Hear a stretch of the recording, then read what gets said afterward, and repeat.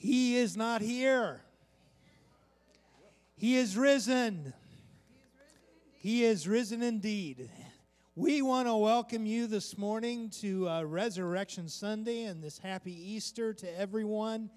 Folks, this is the most uh, significant moment in the history of mankind in celebration of uh, Jesus' resurrection from the dead. And uh, we're going to be learning more today about what that means for our life. And it's not just a celebration for one day, it's not just a time just to come together for one day, but it's a time to kind of uh, wake up and uh, be renewed and realize why we're here on this earth to begin with. And so, uh, what better way to do that than to be in church uh, on Sunday and to be here? And we want to welcome you uh, to North Citrus Christian Church right here uh, between uh, Citrus Springs and Pine Ridge off Elkcam Boulevard. We're glad you're here in person this morning. We want to welcome those of you that are watching online as well. Every Sunday morning at 10:30, we're right here. We're your neighborhood church. Many of you live right in this area. We'd love to have you join us on a regular basis. So welcome. So let's try that one more time. He is not here. He is risen. He is risen indeed. Amen. All right. So, folks, let's take a look at some things that are happening, uh, not only today, but in the days to come. So, we have some ongoing uh, life groups that, that are meeting, uh, one of which meets every Sunday morning at 9 o'clock. Uh, we encourage you to come and be a part of that. We're going through a study of the book of Romans. So, encourage you to be a part of that before church. Of course, uh, church time starts at 1030 and our Citrus Kids our meeting at 10:30 as well through elementary school. Uh, Tuesday night we have another life group at six.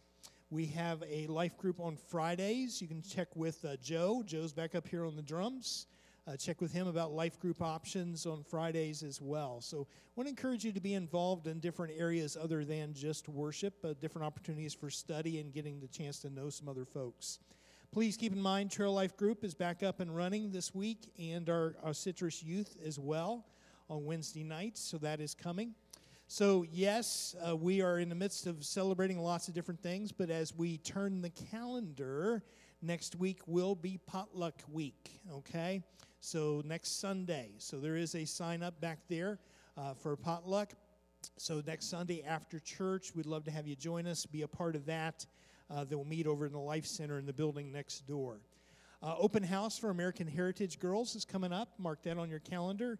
You have some uh, girls that are interested in that, want to learn more about that program, uh, that's happening on uh, April the 9th. And then our foundations class. This is an excellent opportunity. If you are just starting to come to the church or you're wondering, well, what is this church? I know the sign says North Citrus Christian Church, but you know, I've been to lots of churches, or what, what do they believe? What, what, what is this all about? This is an opportunity, um, April 21st, right after church. We're going to do lunch for you. Uh, this is an opportunity for you uh, to come and to learn more about the church, okay, and to learn more about uh, who we are, what we believe, uh, be with other people that are also coming for the first time. So I want you to consider uh, being back for that just a couple weeks from today and to being in a position to, to learn more about the church, okay? And we have a special guest in the house today. Mr. Charles Dewey, raise your hand, buddy.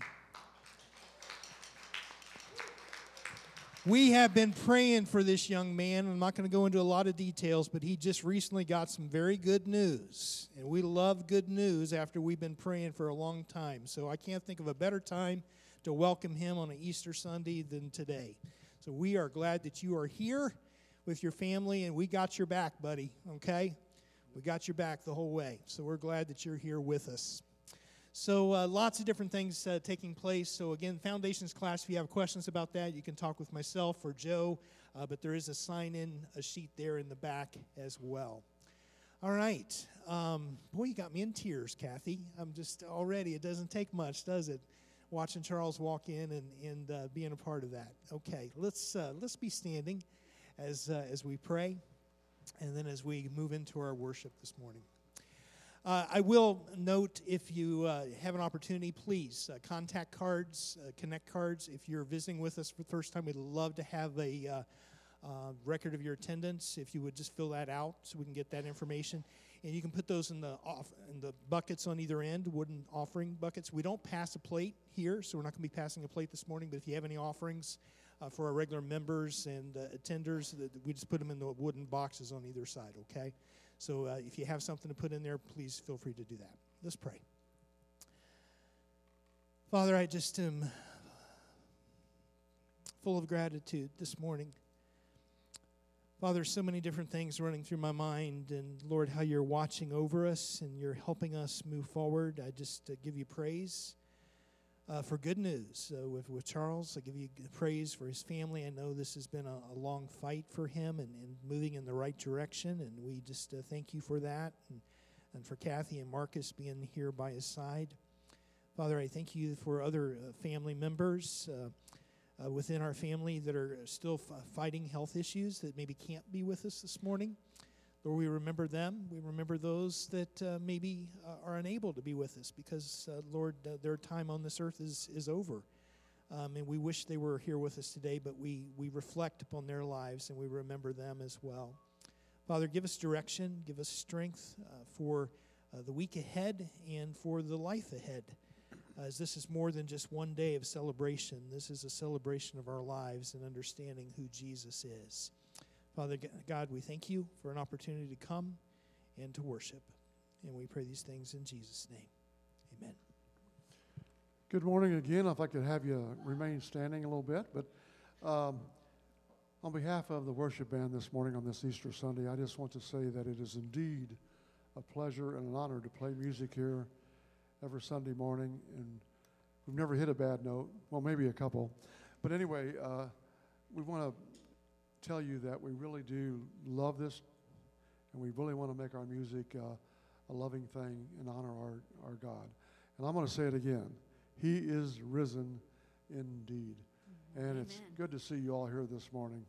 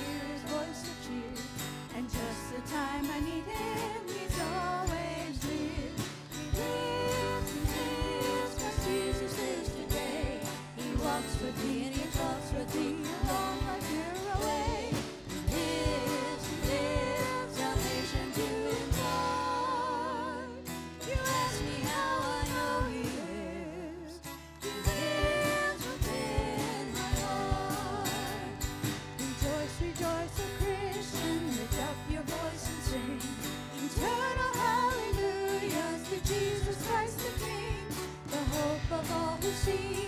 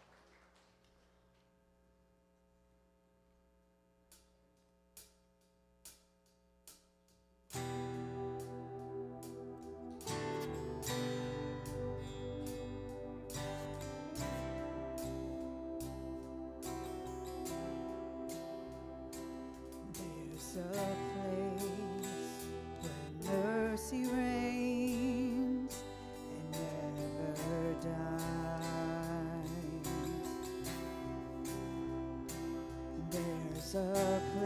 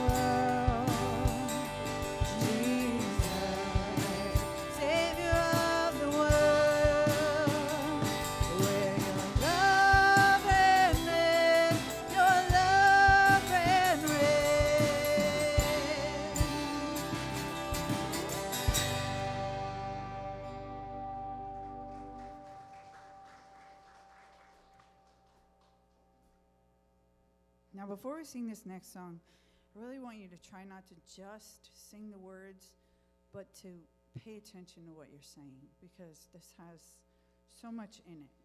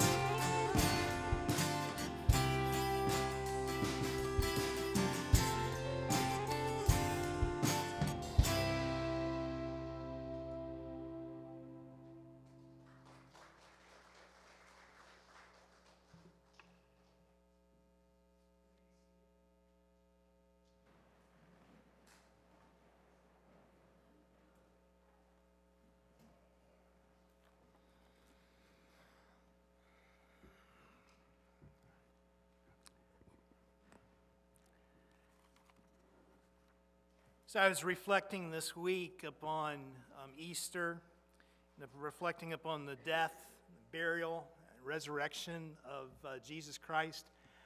It quickly came to my mind, you know, there is no greater event that has happened in the history of the world than what we celebrate on Easter Sunday. Uh, the resurrection of Jesus Christ, death, uh, has been defeated, and we have victory over the grave. And for eternal life, uh, that nothing. I mean, gravity, the Wright brothers, you know, Henry Ford, you know, you, you name it. Um, you know, uh, the Tampa Bay Buccaneers. I mean, come on. I mean, uh, there is no greater thing that could happen on the face of this earth than what Jesus Christ did and conquered death. And you know, this has brought to mind a, a, lot of different things that are happening because there are many things in our lives that we still need conquered today. And it came to mind as I was preparing this that, you know, there is a spiritual warfare that is at work in our lives. And even though Satan has been defeated, he still roams the face of this earth he still tries to get his way. He still tries to, to take hold, and he will not relinquish his hold over us. Reminded of the scripture comes out of Ephesians chapter 6, starting with verse 10. It says, Finally, be strong in the Lord and in his mighty power. Put on the full armor of God that you can take your stand against the devil's schemes. Verse 12. For our struggle is not against flesh and blood, but against the rulers, against the authorities, against the powers of this dark world, and against the spiritual forces of evil in the heavenly realms. I'll never forget a passion play that I saw once here in Florida that uh, just so vividly portrayed what was taking place with Jesus' death, his burial, and his resurrection. And they took the dramatic license at the end of his death upon the cross, and when he cried out, It is finished. And when the, the, tomb was sealed and he was no longer to be thought of, and people thought that this was the end of it all, they had demons coming out, red figures dancing and celebrating and thinking that it was over and thinking that they had won and thinking that and it was dark and, and it was it was deceptive and it was scary and it was black and it was but then the tomb began to open. And as the tomb opened, the light shined through, and people saw that the tomb was empty. And out of nowhere, the demons began to scatter and here came angels from heaven, and they began to dance around, and the music changed, and everything was victorious, and everything had been conquered, and all the authorities, and all the rulers, and all the powers of the dark world, and spiritual forces of evil in the heavenly realms had been conquered. Folks, I hope and pray that as we come around this communion table this morning, that we realize that our battle is not against flesh and blood. Do we struggle? Yes. Do we do things that we don't want to do? Yes. The things that we want to do, we don't do. And, and we, we struggle with that and we, we continue to sin. Maybe it's our thought life. Maybe it's secret sins. Maybe we're struggling in our marriage. Uh, maybe it's issues within our family or at work. Maybe it's lifestyles that we're struggling with or sinful habits or addictions. I, I don't know what it is for you that you're struggling with, but, but please keep in mind that Jesus died upon the cross for those struggles and for those sins. And Satan and his forces have been defeated. And God and his forces have won. God is greater. And once we connect to Christ, he will never let us go. And nothing can destroy us.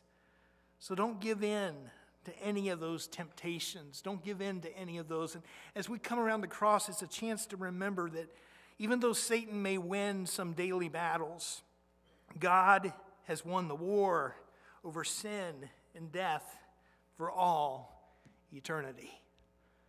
Spiritual warfare, you better believe it. But God has already won. Folks, as we come around the table this morning, we. Uh, do things very simply here at North Citrus Christian Church. We do celebrate communion every Sunday according to Scripture. As often as they met together, they uh, have that time together. Uh, it's a symbolic celebration uh, in that uh, the bread is uh, symbolic of the, the body of Christ and remembering the death that he had upon the cross of Christ. Uh, the juice, it's grape juice, is symbolic of his blood. An opportunity to remember for those of us who are believers. Uh, we practice open communion, so you don't have to be a member of this church to partake this morning. If you are a believer in Jesus Christ and you want to remember this time together, uh, as the emblems are passed, we simply ask that you hold those emblems and uh, at your own preparation and your own meditation and your own prayer time, then uh, you partake of that bread, uh, symbolic of his body, and partake of that cup, uh, symbolic of his blood. Let's pray. Father God, I'm so grateful this morning that because of the empty tomb, Lord, that we have victory over death. And there's no other way that it could have worked other than to have your sinless Son, Jesus Christ, take on the sins of the whole world. Father, Satan thought he had won. He thought he had had the victory and thought that things were over and, and had taken it. But no, no, no, no. And Satan may still think he has the victory in our lives today in different areas that we continue to struggle with, but no, no. He may win some daily battles, but he has not won the war. You have conquered. And you take the victory in spiritual warfare. Thank you for this time together to remember the body in the blood of Jesus Christ and how it washes away our sins. And we thank you for your Son, Jesus Christ, and the victory that we have over death. We pray these things in Jesus' name. Amen.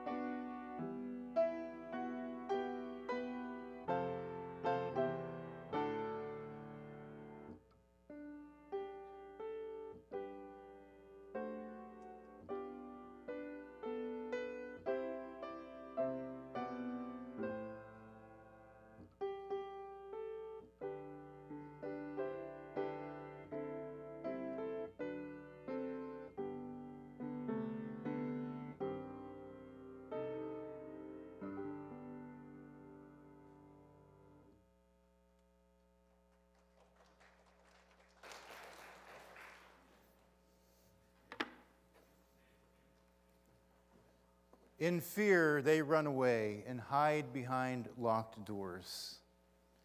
Shock, horror, confusion, and inexpressible grief strike Jesus' closest followers. They knew that he was Messiah. They saw the miracles. They heard the power in his teaching. They were there when Lazarus was called out of his grave. But none of that makes sense anymore. Jesus has failed. The religious rulers have the upper hand. Rome has succeeded in putting to death yet another antagonistic religious zealot. So hope is dead. Expectations are shattered. Visions for the future vanish. If Jesus died, where is hope? That is what the disciples were wrestling with in the aftermath of Jesus' death as he lay in the empty tomb. But that sense of hopelessness is something that we wrestle with all the time in this life. This is an important question for us to address because oftentimes we experience hopelessness. We experience the heavy weight that we cannot lift ourselves. We uh, experience the despair that is impossible for us to dispel. We can't quite find remedy on our own. So, if Jesus has died, what hope does that give to me? Well, this is a question that the Apostle Paul addresses in a letter that he sent to the church in Corinth. Um, let me tell you, uh, flip over to uh, chapter 15 of 1 Corinthians, if you will. Paul himself was a leader in the early church, but before that, he was one of the elites of Jewish society. He had an outstanding education, uh, he had a good standing in his community, uh, he had authority that he wielded in different ways, and he was so passionate about God's people and uh, for ritual purity that he persecuted followers of Jesus to the point of death. He was a model Jew of his day. But that all changed when he encountered the risen Jesus. And he spends the rest of his life spreading the good news of who Jesus is. And in chapter 15 of 1 Corinthians, uh, he is arguing against people who say that there is no resurrection. Those who say when you die, that is it, your life ends, you are done, your existence is over. That was a common belief then, just it is a common belief today. And so it is a topic that is yet relevant for us. And so I want us to see how Paul addresses this and how it relates to our hopelessness as we look at, uh, beginning at verse 12 of 1 Corinthians 15. Paul says this Now, if Christ is preached that he has been raised, or now that if Christ is preached that he has been raised from the dead, how do some of you say that there is no resurrection of the dead? He is addressing this. He's saying, We're going around preaching that Jesus has been raised from the dead. But if resurrection does not exist at all, if it is not a part of this created order, you know, how can we go and preach that Christ is dead? There is a logical inconsistency there that we have to address. So he says, But if there is no resurrection of the dead, then not even Christ has been raised. Then our preaching is in vain, your faith also is in vain. Moreover, we are found to be false witnesses of God because we testified against God that he raised Christ, whom he did not raise, in fact, if the dead are not raised. For if the dead are not raised, and not even Christ is not, has, uh, then not even Christ has been raised. And if Christ has not been raised, your faith is worthless. You are still in your sins. Then also those who are who have fallen asleep in Christ have perished. And if we hoped in Christ only in this life, we are of all people most to be pitied. So again, Paul is pointing out this logical inconsistency that you cannot preach, Christians cannot believe that Jesus was risen, was raised from the dead, and that there is no resurrection. You cannot believe that Jesus uh, came back to life after he had been dead for three days, and believe that we will not also be raised back to life. And then he goes on to describe the practical ramifications of that fact. And in fact, these practical ramifications were infecting how people lived in that day. They were living as if they were not going to see God again. And so he goes on to describe those practical effects. That if we have faith in Jesus, but there is no resurrection, our faith has no substance. It is worthless, and we are still dead in our sin. If Jesus, uh, he went to the cross, he died to take away our sins. If he is still dead, then that doesn't matter. He didn't really take away our sins. And also, those who have believed in Jesus, yet they are dead, that we're never going to see them again. And so there are some other implications there. And then in verse 19, he summarizes the effect of this and, and saying that if we only believe in Jesus, if, if believing in Jesus only has an impact on this life and not for eternity, then we of all people are to be pitied. And so if Jesus remained dead, following him would be pointless. And just think about it. Because we follow Jesus, because we follow his teaching and his way of life, there are a lot of things that we give up in this world, a lot of sacrifices that we make. We deny our own desires so that we can do what supposedly pleases him. We put others first and put ourselves last. We make sacrifices for others. We give up our riches and fame so that we can serve Jesus. And then we give up our most important resource, which is our time to serve Him and to serve others.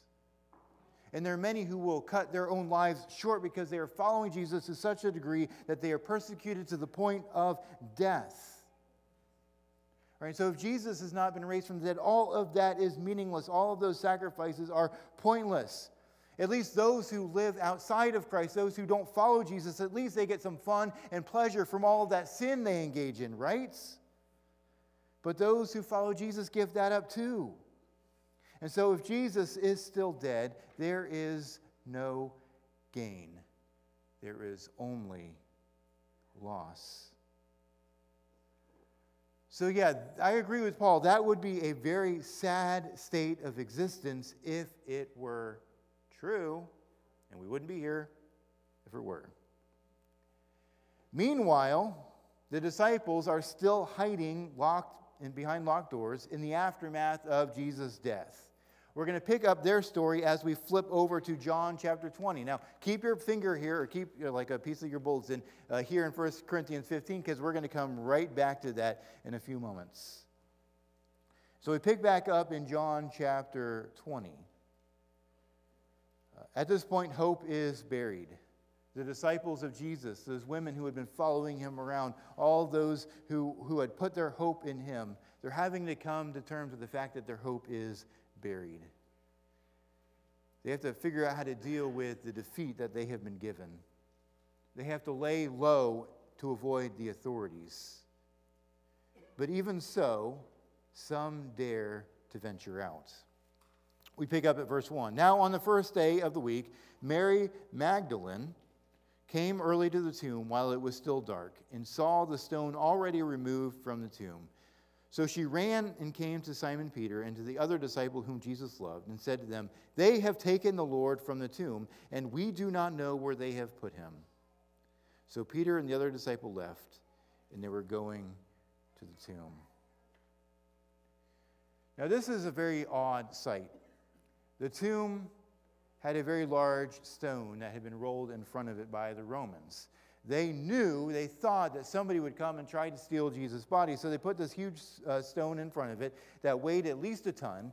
And they also sealed it with wax or some kind of signifier to, uh, to denote if somebody had tampered with it, tried to roll away the stone, and they had tried to take Jesus' body. But not only did they do that, but they also stationed a Roman guard there to guard the tomb to make sure that nobody would come and try to take Jesus' body. There was nothing that nobody's going to be able to come and say, oh, look, Jesus' body isn't here. He must be raised from the dead. They were going to prevent that because they knew that's what Jesus had been saying. Interestingly enough, Jesus' disciples didn't get that, but the Roman authorities do. And so they try their best to prevent somebody from taking Jesus' body. But all of that is pointless at this point. Something crazy has happened as Mary comes to see the tomb. As somehow the soldiers had been overcome, the stone was rolled away, and Jesus' body was not there. Now, Mary has no idea what has happened in this scenario. All she knows is that something weird happened.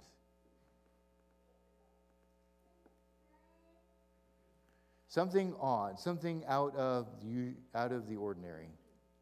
And Mary had no idea how to process it. As she is looking into the tomb, as she goes and reports back to Peter and John, she tells them they took his body, meaning the Romans or the Jewish officials. Somebody took the body of Jesus. She had no conception that he could have been raised from the dead. So she had no idea what she was looking at. Her brain couldn't process, couldn't come to terms with what she is saying.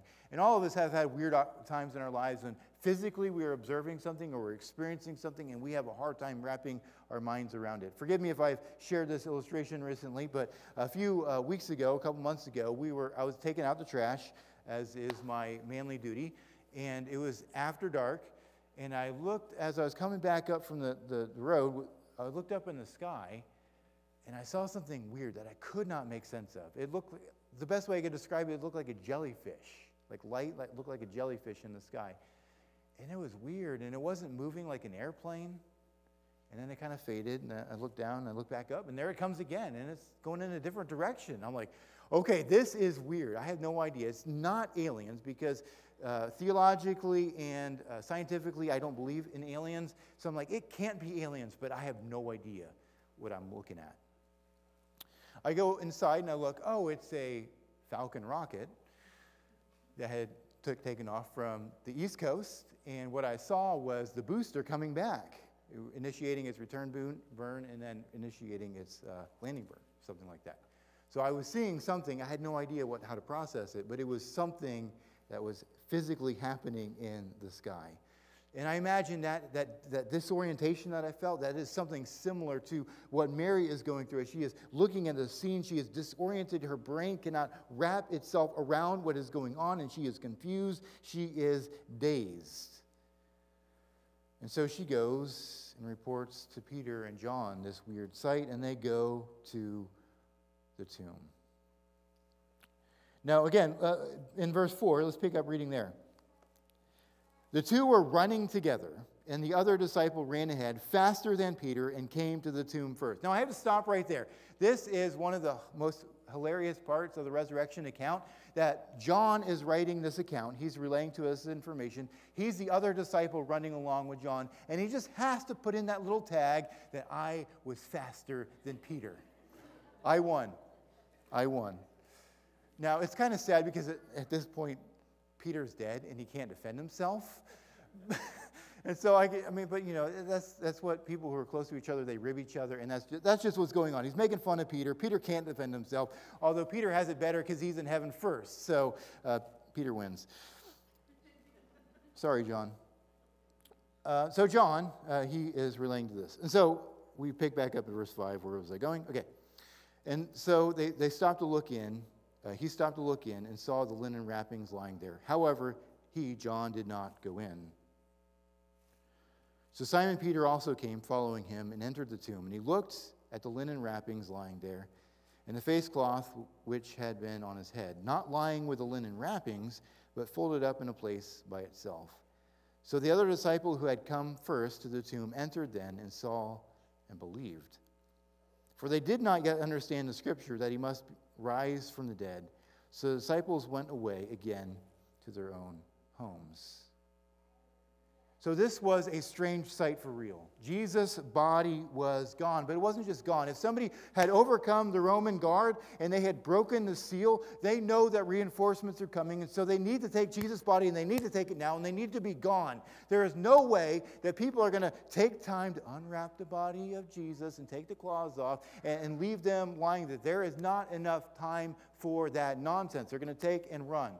But that's not at all what we see happening in this instance. What we see is that the, the clothes are still there.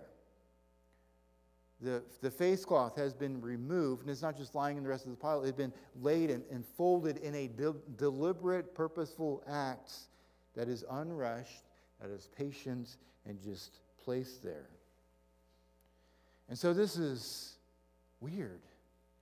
And so John notices that when he finally catches his breath, now he, he doesn't put that in there, but he doesn't go in yet. He's just like standing there. I can just imagine he's just gasping for air. And Peter, who's in better shape, even though he can sprint faster, Peter, uh, you know, isn't winded. He just goes in. And so John catches his breath, goes in, and he says that he believed.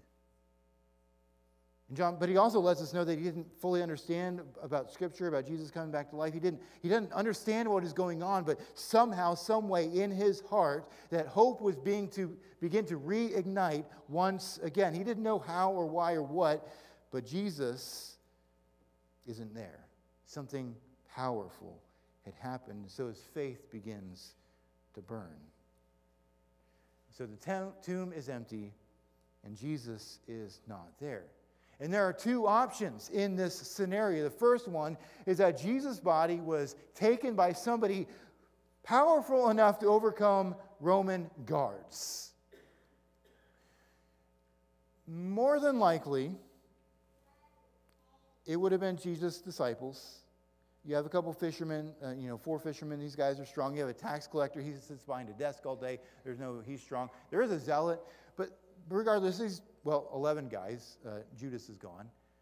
There's no way that these guys, untrained, unskilled fighters, are going to go up against the special forces of the Roman military. There's no way that they're going to defeat them. They have nothing but maybe a couple short swords. The Romans have armor, they have long swords, they have spears, they have other weapons at their disposal, and they can call for backup. So there's no way that the disciples, regardless of what the, guards will say in later, there's no way that the disciples or anyone else is going to be able to overthrow those Roman guards. And if they did, those guards would die.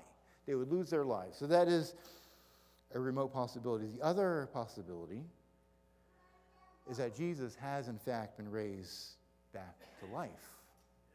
Those are your two choices. Jesus' body was taken, or he yet lives. And even if you don't understand it, if you cannot wrap your mind around it, give yourself permission to believe. Lean in, just like the Apostle John is doing. As he, he cannot make sense of this, he cannot wrap his mind, he doesn't understand the scriptures, he, he cannot fully uh, parse what is going on. He still believes. We can too. We don't necessarily we'll have all of our ans- questions answered right away. We won't have all of our objections answered right away, but it doesn't mean that we can't look into the claims being made. It doesn't mean that we can't search about the truth of Jesus ourselves. And I concede that you are here deeply down because you know that life without Jesus is hopeless. There are many other things that you could be doing on a Sunday morning besides getting up and going to church and listening to some guy yammer on for moments and moments and hopefully not hours on end.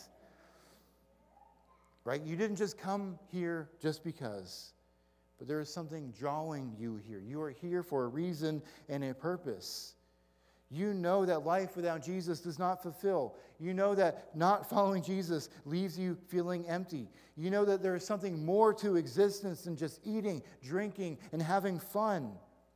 And in fact, some of your misery comes from having too much eating, drinking, and having fun. And I can guarantee some of your kids are in that same boat today or will be this afternoon as they sit down and eat all that Easter candy in one sitting oh, it tastes so good, but the end result is, oh my gosh, my tummy hurts so bad. Mom, please make this stop. I, you know, we've, we've all been there as parents. We've all been there as humans. Next Sunday is potluck Sunday. right? It doesn't satisfy, it causes more problems in the end. You might not believe, but you're looking for answers, you're looking for hope, and so you show up to hear about Jesus.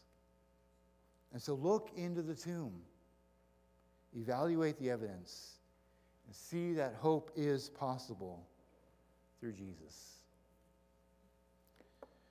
Now, after this, Mary hangs behind and she stays there at the tomb and she is sobbing. She looks, and bless her heart, she is already unable to cope with the situation. She sees these two guys, these two angels in the tomb sitting where Jesus was. I can't even imagine how she felt. And then she turns around, she's crying, she's talking to them, and this guy comes up behind her and starts talking at her, talking to her, not talking at her, talking to her. And she doesn't know what to make of the situation.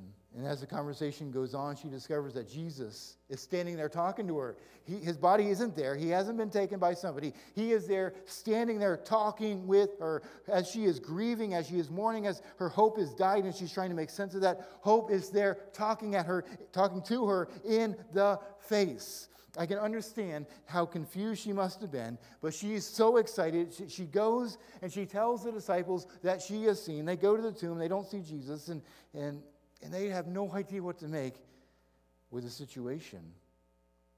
As the day goes on, Mary has seen, but the disciples have not.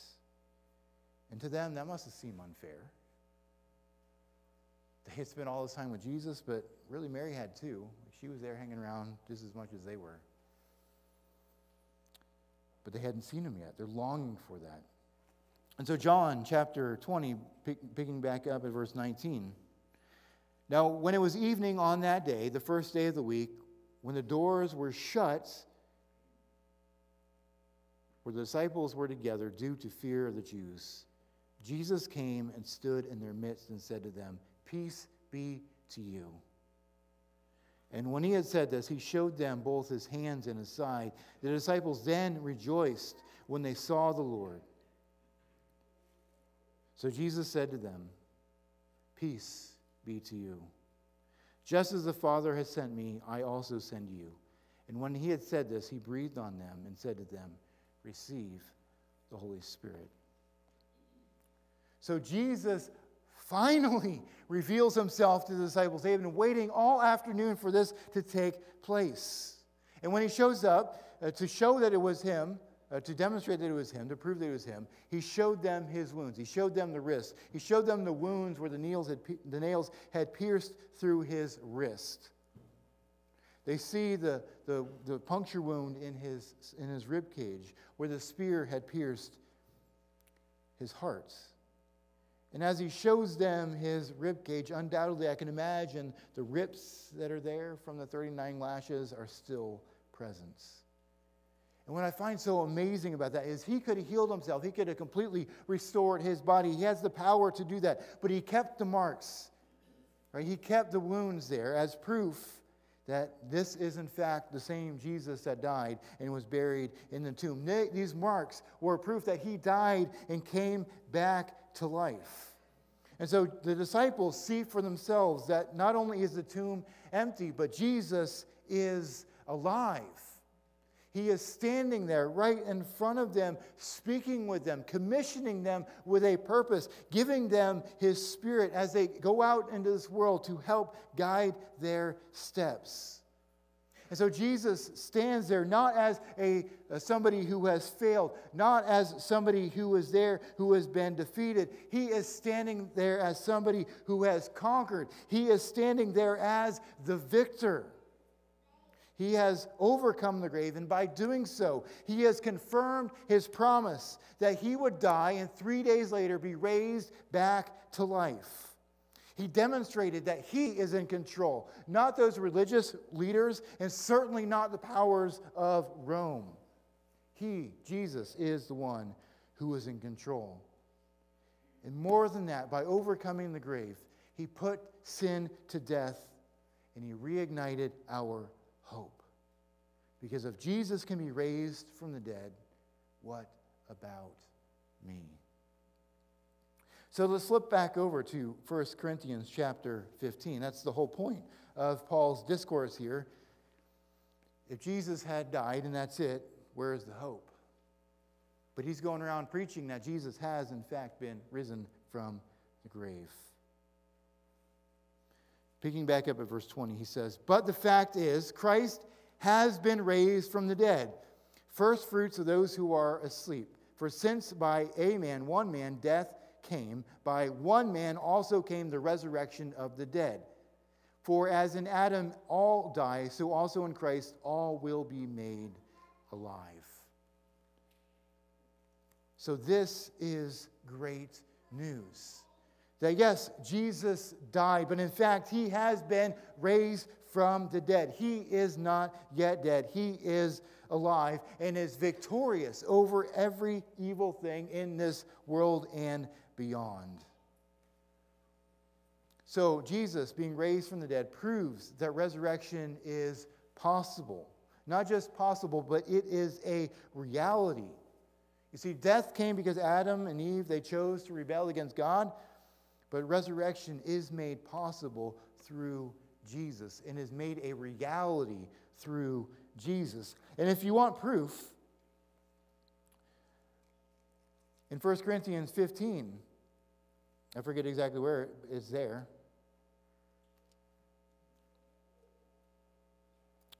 Verse 5 And that he appeared to Cephas, Peter, and then to the twelve. After that, he appeared to more than 500 brothers and sisters at one time, most of whom remain until now, but some have fallen asleep. Then he appeared to James, then to all the apostles, and last of all, to one untimely born, he appeared to me also. So at the time that Paul is writing this letter, there were at least some, you know, hundreds of people who had witnessed Jesus after he had been raised from the dead, who they could go talk to and say, Hey, did you see Jesus raised from the dead? Yes, we saw Jesus after he had died and been put in the tomb. We saw him walking around teaching and doing things, right? We saw the, re- the resurrected Jesus. There is proof of that fact right here. And so Jesus has been raised from the dead. And so, again, if Jesus died, where is our hope? Our hope is found in the empty tomb. Jesus' defeat of sin and death gave us, gives us hope in this life and for eternity. Through faith, we can have forgiveness from our sins, and we can be with Jesus forever. We have hope that all the brokenness that is in this world is going to be restored. And we have hope that we will be reunited with those believers who have died before us in the faith, that we will see them again. And we have hope that the evils of this world will be held to account. Rome will not get away with the evils that they inflicted on Jesus, and neither will any human power or person who has conducted evil in this world. So that's an amazing hope that we have to look forward to. But we also have hope knowing that Jesus is alive with us today.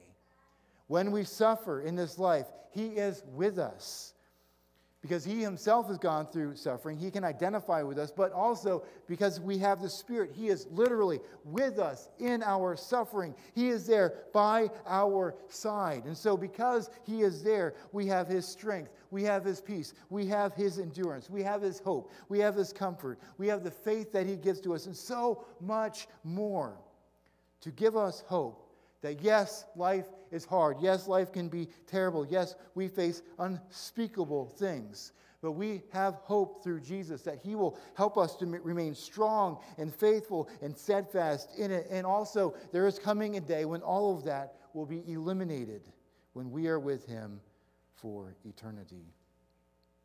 And so, because the tomb is empty, everything changes. Our hopelessness turns to hope. Our brokenness is transformed into wholeness. Death is transformed into life. Slavery becomes freedom. A life of indulgence becomes a life of purpose. And to have that hope, to have that hope for yourself, there is some action, some responsibility on your part. You have to accept the fact of the empty tomb. You have to accept the forgiveness of sins that is offered by Jesus. And then you have to let Jesus guide your steps in that life of hope. And so you might feel hopeless. You might feel aimless. You might feel lost. You might feel afraid. But through Jesus, there is hope. There is hope because the tomb is empty. Look in that tomb for yourself. Look into the claims and see that, yes, Jesus has been raised. And because he lives, you can live as well. And that life, that new life, starts when you put your trust in Him. And it continues throughout this life and into eternity. And so hope is not gone, it is not defeated. Trust in Jesus, and you will have hope. And when you do, you too will be undefeated by sin and death. Let's pray. Our Heavenly Father, we are so grateful for what Jesus accomplished on the cross. We're so thankful that He took our punishment. We're so thankful that He took upon Himself our sin, our shame, our guilt, and He put it to death so that we could be forgiven. And we're so thankful that we are forgiven in this life. We're so thankful that our debt in this life is eliminated. But we're also so thankful that not only did Jesus do all that on the cross, but on the third day, the tomb was emptied, and Jesus came back to life to give us hope of not just life now, but life eternal. A, a, a life that, that, yes, we give things up, but we know that we're going to have eternal rewards, that, that we have to, to make sacrifices for you and for others, but we know in eternity we have the blessings that come from you and being with you forever. And so, Father, we are so grateful for that hope. And I pray for anyone this morning who does not know that hope, that they haven't experienced that hope, that they're feeling hopeless. I find that they would find, I pray that they would find that hope today, that you would reignite hope in their lives and their heart as they come to faith in you. And so, Father, I pray that you would do just that today. Help them, help them believe, help them to see that the tomb is empty because you came back to life. Not because the disciples took the body, but because you, in fact, have the power over sin and death, and that you reign forever and ever. We pray these things in Jesus' mighty name. Amen. So at this time, we offer an invitation to respond uh, to the message that, that we have heard. For all of us, it's an invitation for us to look in the empty tomb and let our hope in Jesus be reignited. Because sometimes in this life, even as we follow Jesus, our circumstances in our life, uh, uh, that hope can get crowded out with darkness. And so look in the empty tomb and let Him reignite that hope in your own life. But if you are not a follower of Jesus and you want to learn more about this hope, talk to us, and we'll be glad to, to teach you, and instruct you, and lead you towards Jesus. But if you want to make Jesus the Lord of your life, accept the offering of forgiveness of sins, and to accept that hope, uh, come forward at this time as we offer our time of invitation, and we'll be glad to help walk you through those steps. So let's go ahead and stand and sing our invitation song. Uh, Jonathan will be up here to receive you.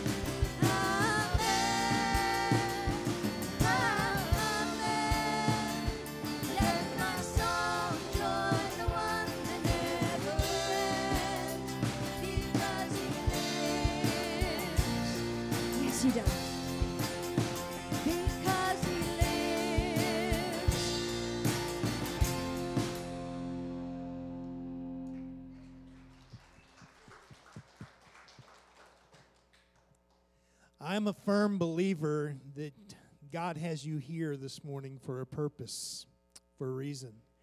I don't think it was by accident that you ended up here at North Citrus Christian Church.